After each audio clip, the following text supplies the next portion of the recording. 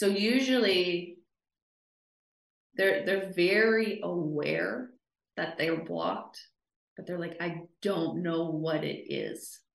And the root of every one of the blocks, and at first people have a really hard time wrapping their head around this because they're like their their ego and their mind like, I got my shit figured out.